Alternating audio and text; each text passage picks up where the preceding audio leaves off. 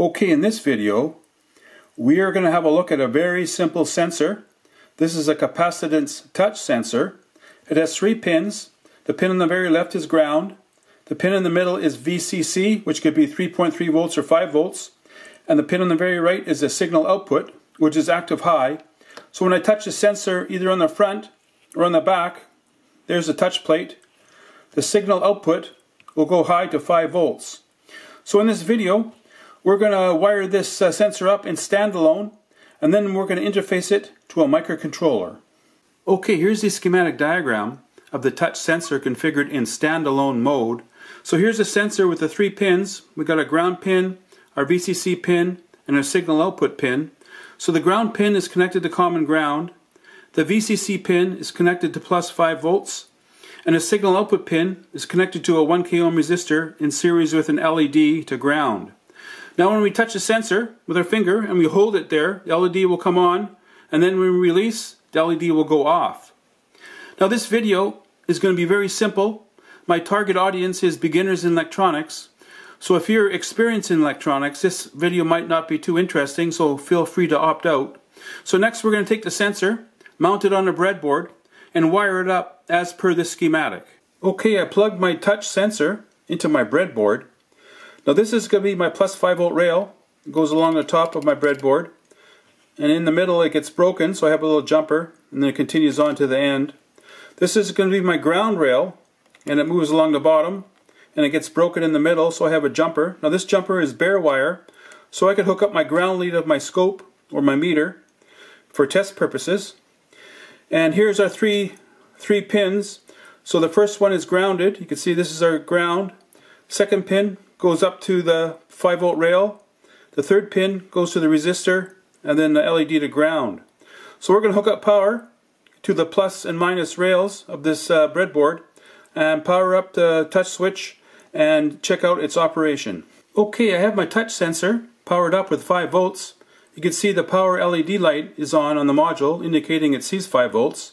And the power is coming from my power supply. You can see the two power supply leads. I got my red lead so my plus 5 volts is connected to the top rail.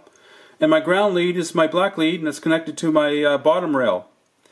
So if I touch the sensor, either in the back or the front, if I touch and hold, see the LED comes on, I release, it goes off. I can do it from the front, same thing. Now if I pulsate it, and we look at the scope, you can see it's very clean. There's no chatter, there's no bounce. So we don't have to worry about any type of debouncing circuit when we're uh, hooking it up to a microcontroller. So next we're going to have a look on how we could build these power leads because if you're going to get into electronics you'll need some uh, power supply leads that could plug into your breadboard for experimentation. Okay here's my power cable to power up circuits on my breadboard which you could build yourself. It's very easy. Get yourself some test lead cable black and red. You get that in any electronic supply store.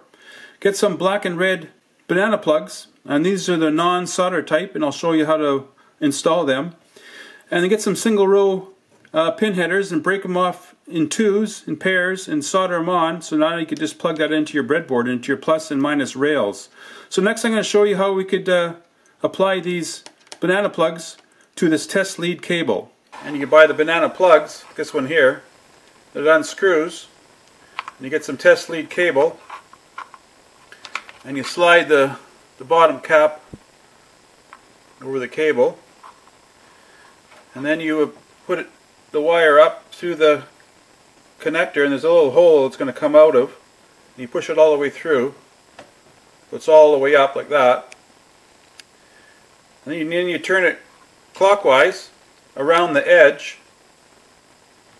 And bring it around. Like that. So now you bring up the the bottom cap. And as it screws up it's gonna it's gonna tighten the wire against that edge so it makes a very good connection.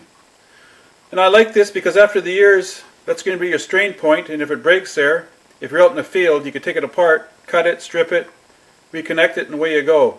So it's a very handy connector, very easy to do, very easy to put on, and you can use it in a lot of your projects. Okay, next, we're going to check out the capabilities of this little touch sensor.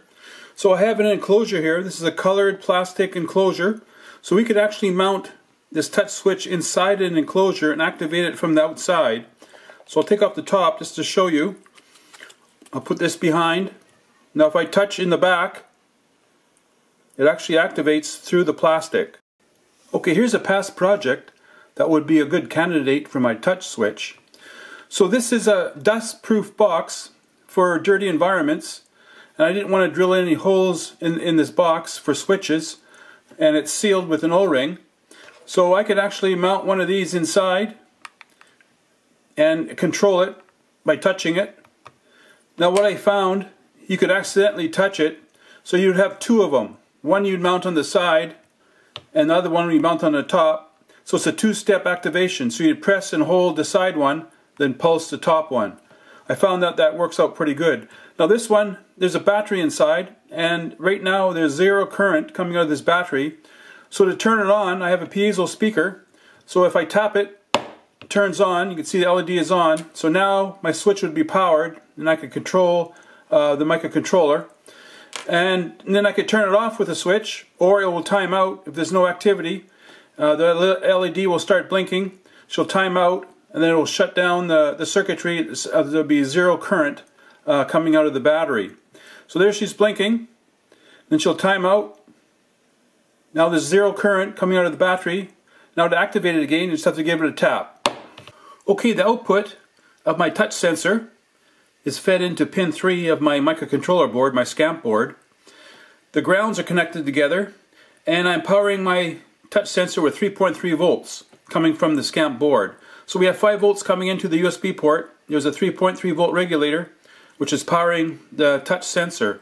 So now when I touch the sensor, I have a program.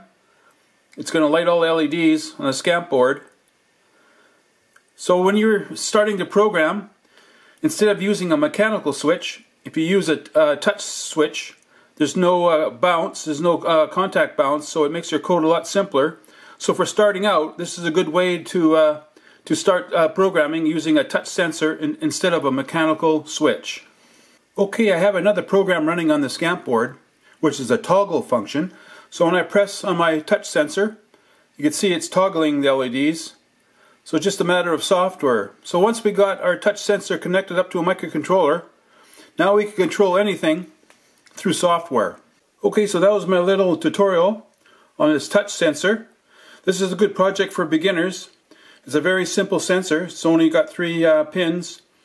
Uh, you can do some breadboarding and then hook it up to your favorite microcontroller and see what kind of devices you could control using a touch switch.